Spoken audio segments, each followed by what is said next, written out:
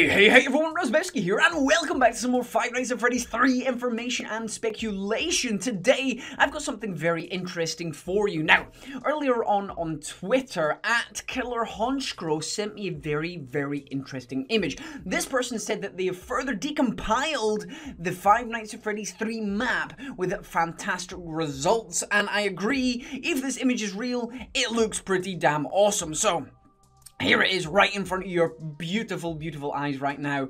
What the fuck is this black and white circle? Killer Honchkrow, this is indeed very interesting. So, we've got the original map here, then we've got the, the secret passageways, as you can see here on the left and on the right. But, what the hell do we have here running through there? We'll get rid of that just now. And on the, the in the middle, right where the map is, what is this?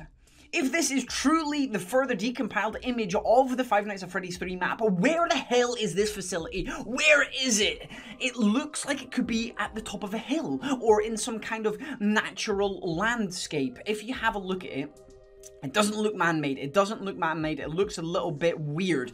Because if it was man-made, it would follow some kind of square or, or, or at least a rectangular shape it kind of looks like this facility, for some reason, is on the top of a hill. I don't know if you've ever had a look at the maps. If you ever look at a map from the top and you have the, the all the gradient lines and it has... um uh, the, the map uh, splaying out and it shows how steep each part of the hill is and obviously in the middle of the said hill is whatever features there whether it's a landmark whether it's a building whether it's whatever and it kind of looks like this map is on the top of a hill. Could Five Nights at Freddy's 3 be set on the top of a hill? Is this where one of the original diners was on the top of something like this? Or is it set on some kind of island? Imagine that. Imagine this here is some kind of island and then have you got water going around the outside of it?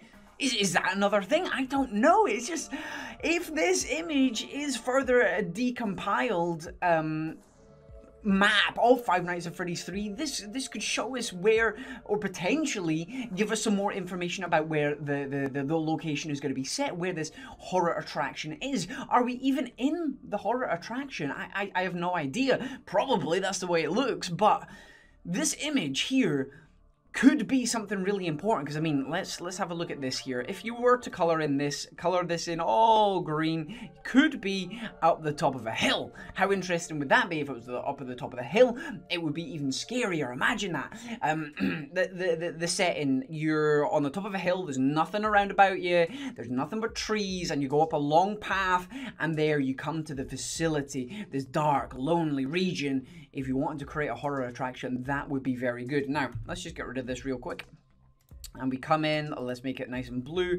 What happens if you make this blue here and you turn this in, I'm very poor at drawing, but if you turn this into some kind of island instead, you have like a, a lone island where this facility is and you go there and it, again, it creates, um, it's, I think it's the isolation that's the scary part. There's nothing around about you, you can't run, you can't scream for help, nobody's gonna see you, and it could be really good. I just love this image. Thank you, Honchkrow, for sending this along to me. Um, um, it could potentially be very interesting. I mean, what do you guys think it looks like? I, have I've been racking my brain over it. I've been discussing it with my friend as well, and it is it is it's, it's strange because you've got the main building here right slap bang in this dark uh, grey area that looks like it's probably round about the land the, the where the, it looks like the land mass where the building is situated. Then you've got the secret passageways going in and around it but then you've got this mass around the outside. It just looks a little bit strange. It looks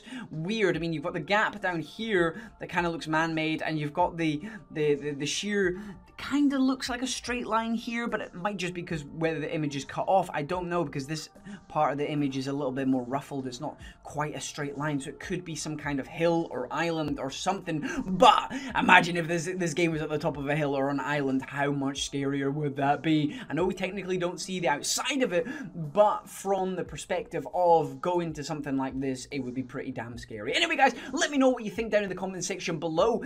It seems pretty damn awesome to me. It seems pretty damn awesome. Also, if you've got time, I've got a, I've put a straw poll in the description below as well. Go and check it out because I want to do a horror let's play on the channel um, while we're waiting for Five Nights at Freddy's 3 to come out. And just a little bit something, uh, a little bit uh, something uh, different. Variety, that's the word I'm looking for. A little bit of horror variety on the channel as well. So let me know what you think. Uh, vote on that straw poll what game you would like to see on the channel and we'll get around to doing that as soon as possible. But either way guys, drop a like if you enjoyed today's video and I'll see you very soon. I've been Razzbowski, you've been the beautiful bastards as always for watching and I love each and every single one of you.